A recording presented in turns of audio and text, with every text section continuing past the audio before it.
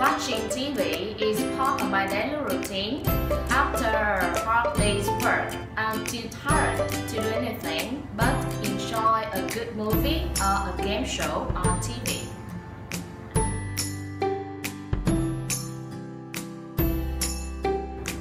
Commuting by boat is absolutely not part of my daily routine.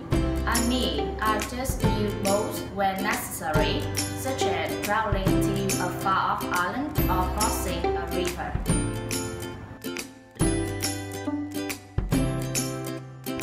Eating fruit is always part of my daily routine because it's rich in vitamins and also makes my skin glowing.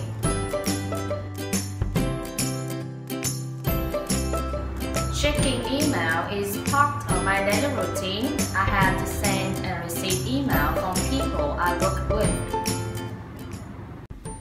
Don't forget to subscribe to our YouTube channel and check out our fan page as well.